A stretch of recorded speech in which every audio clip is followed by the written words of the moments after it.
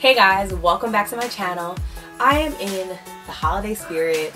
Um, I love the holidays and as you can tell from the title of this video, it is holiday based. We're talking about how to stay healthy and how to stay fit during the holidays. I don't know about you, I love to eat. I'm drinking a little bit more because coquito and eggnog are definitely my favorite drinks during the holidays. I'm doing mad shopping and spending money and I'm not in the gym because I'm probably in the mall. Like I am doing the most. So if you're like me and you do the most, this video is probably for you. Let's get into it. Tip number one, plan your healthy meals around your cheat meals or try intermittent fasting. I would say number one, meal prep. That's the easiest way to plan your healthy meals around your cheat meals. But let's say you don't have time for that, because I know that I know.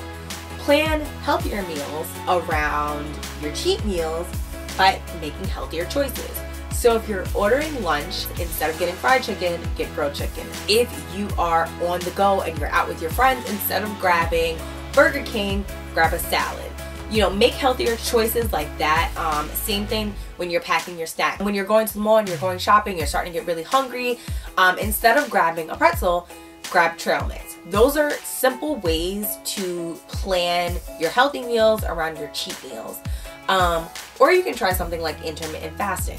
So intermittent fasting is not starving yourself all the way until you're gonna have your cheat meal. It's cycling blocks of eating and fasting. So you can do this even on days when you're not going to a holiday party or when you know it's not Christmas dinner. There are different ways to do it, but this is a popular one where you fast for 16 hours and you eat only during a period of eight hours. So basically from the time you go to sleep, you skip breakfast and then you start your first meal at noon. So from noon until 8 p.m., which would be your last meal, you're not eating. But intermittent fasting is definitely in another way of kind of controlling your meals um, without starving yourself and then overindulging at the end of the evening or at lunch or something like that. Tip number two, drink a lot of water. If you don't drink any water at all, first of all, you're playing but really up your water game. Um, like I said, you're eating a lot and you're probably drinking a little bit more than you typically would. Really, really, really do your best to carry a bottle of water. I keep a water bottle in my car. I have a water bottle in my bag. I keep a water bottle on my desk. I keep a water bottle next to my bed. Like I really try and drink a lot of water. Um, and plus it's mad good for your skin and hair. So you should be drinking a lot of water. Tip number three, don't skip your workouts. Um, if you can't make it to the gym for your typical time, like I usually, I'm in the gym for about an hour and a half to, to two hours. I don't have time to be in the gym like that, um, usually during the holidays. So I either will do a quick workout in the gym, um, usually limited to about 30 to 45 minutes, or I'll do a 30 minute workout at home. High intensity interval training is a really, really good fat burner. I know it's mad hard to get into the gym, but if you can get to the gym and you know you don't have a lot of time, try and focus on doing power moves that are going to target most of your body as opposed to just one body part. I find that home workouts are a little bit easier for me to do. I have actually linked two sample workouts that my trainer provided me with for a 30 minute workout for the gym and a 30 minute workout um, for home.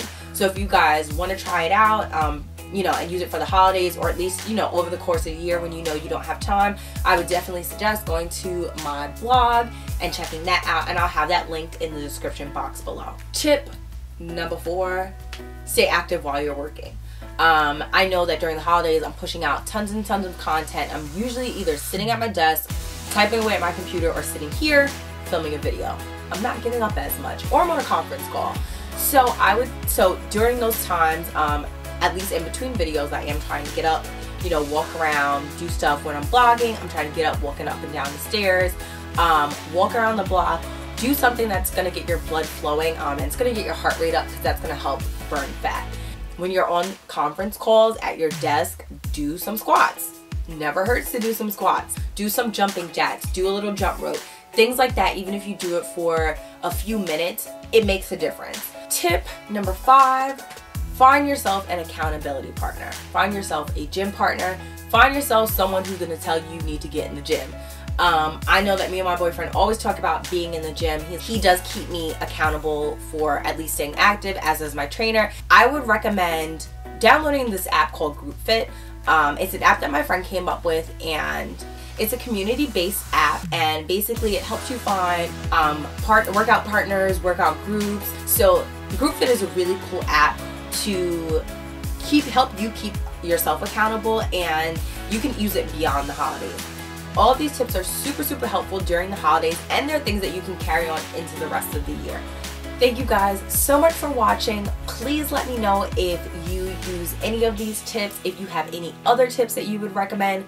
Thumbs up this video if you really, really like it. And happy eating, happy staying healthy, happy holidays.